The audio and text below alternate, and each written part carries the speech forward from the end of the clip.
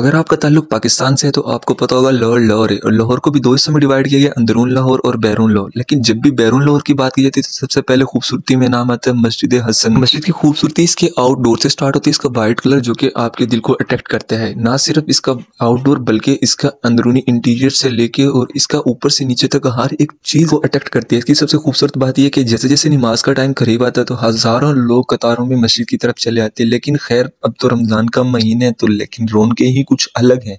आज के ब्लॉग में बड़ी मस्जिद के साथ लाहौरियों के बड़े दिल की बात करेंगे और मस्जिद की खूबसूरती की बात। असलकुम welcome to and other vlog आज का व्लॉग बहुत स्पेशल है क्योंकि आज मैं लाहौर में मौजूद हूँ और लाहौर का आज आई थिंक पहला व्लॉग है रमज़ान के अंदर।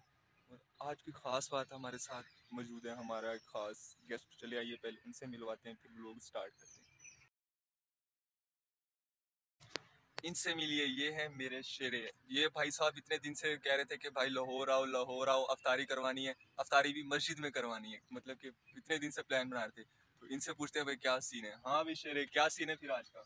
आज मैंने ना आपको लाहौर की सबसे जो अच्छी अफ्तारी होती है ना उधर लेके जाऊँगा और आप कहेंगे क्या बात है सुबहान अल्लाह माशाल्लाह किधर ले आए बातों से लग रहा है ये अफ्तारी के साथ कुट भी खिलाने वाले हैं। ये बात।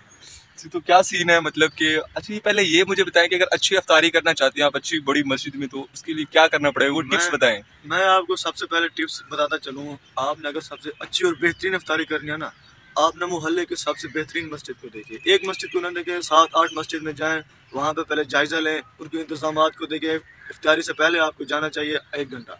और जो सबसे अच्छी मस्जिद होती है ना वहाँ पे आपको सबसे अच्छा खाना प्रोवाइड किया जाता है। अच्छा वहाँ का जो मतलब पानी सिस्टम होता है वो सबसे अच्छा होता है। इनका कहने का मतलब है कि पहले मोहल्ले की छह सात मस्जिदों में जाएँ हाँ। उनके खाने को टेस्ट करें फिर हाँ, जो अच्छी हो उसमें बार बार जाएँ। उसमें बार बार दूसरा ये कह रहा है कि अगर अच्छी अफ्तारी करनी है तो टाइम से पहले जाए मतलब कि एक घंटा आपने पहले वहाँ पे जाना है अगर आप अफ्तारी करना चाहते हैं तो, तो इनसे आज अच्छी अच्छी टिप्स पूछते हैं जो कि रमज़ान में काम आने वाले और ये वो लोग खासतौर पर बॉयज़ के लिए क्योंकि गर्ल्स तो मस्जिद में जाती नहीं है।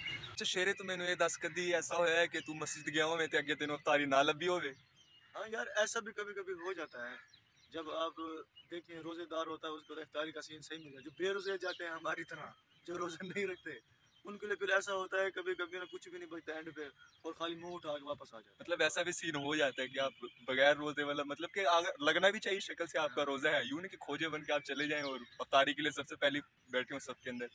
तो इनसे हम और टिप्स पूछते हैं। तो इसके अलावा कोई और टिप्स इसके अलावा और टिप्स ये है कि आपने अपने साथ जो इफ्तार करने आता दोस्त हो या भाई जो भी हो उसका आपने सबसे ज़्यादा ख्याल रखना है। अगर आप उसको एक गिलास भी देंगे ना पानी का तो बदले में आपको समोसा भी देगा खजूर भी देगा हाँ, अपना मतलब खाना भी आपको अच्छी टिप्स है अगले को पानी पिलाओ और वो बदले में खजूर भी देगा गिलास भी देगा।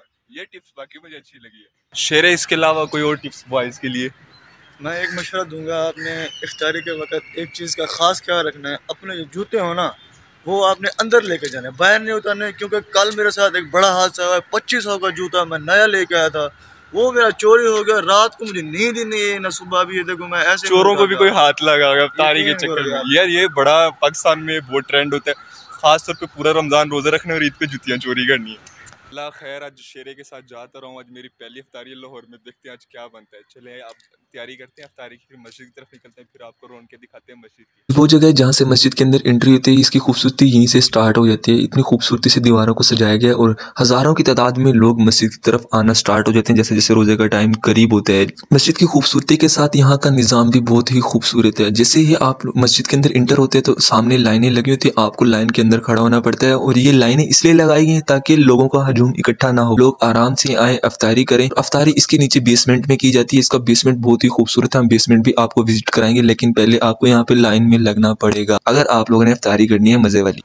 अब आप लोग कह रहे होंगे कि मैं भी यहाँ अफ्तारी करने आऊँ मैं भी मस्जिद की खूबसूरती देखने आया क्योंकि मेरा भी फ़र्स्ट टाइम है और अब जाते हैं इसकी बेसमेंट की तरफ़। जैसे जैसे हम इसके बेसमेंट पे जाते हैं हज़ारों लोगों के लिए इतने बड़े बड़े इन्होंने दस्तरखान लगवाए और दस्तरखान के ऊपर बहुत ही खूबसूरत अंदाज में खाने को सजाया गया है। आप लोग देखेंगे आपको रंग बिरंगे खाने दूर से नज़र आ रहे हैं सब्र करें आपको करीब से भी विज़िट करवाते हैं पहले चलते हैं अपनी जगह पे बैठते हैं। मतलब कि एक एक पर्सन के लिए अलग अलग से खाना रखा गया, पानी को रखा गया। बहुत ही प्यारे तरीके से मस्जिद को सजाया गया और खानों को सजाया गया। दस्तरखान आपको भरा हुआ नज़र आ रहा होगा। चलिए आइए चलते हैं, पहले अपनी जगह का इंतखाब करते हैं। जब भी मैं इतने बड़े दस्तरखान को, इतने लजीज खाने को देखता हूँ तो मेरे दिल में एक ही बात आती है अल्लाह, इतना नवाज़ दे कि इससे बड़े बड़े दस्तरखान लगा सकूँ अल्लाह के नाम पे लोगों अब यहाँ पर भी कई तरह के लोग आते हैं, कुछ की नीयत मेरी जैसी होती है और कुछ की नीयत ये होती है कि भाई किस जगह पे बैठने जहाँ पे बड़ी लेग पड़ी हो राइस के ऊपर। मतलब कि हर किसी का अपना एक इंतखाब है लेकिन नीयत सही रखो भाई वो कहते हैं कि आमाल का दारोमदार नीयतों पर। मेरे शेरे का दिल से शुक्रिया अदा करता हूँ, लेकिन इसकी खुशी का राज ये जो चावलों के ऊपर ब्रोस्ट पड़ा है, ये इसकी खुशी का राज है। अब जैसे जैसे अफ्तारी का टाइम करीब हो रहा है तो हमें दुआ मांगनी चाहिए, और मेरे ख्याल से टाइम करीब है,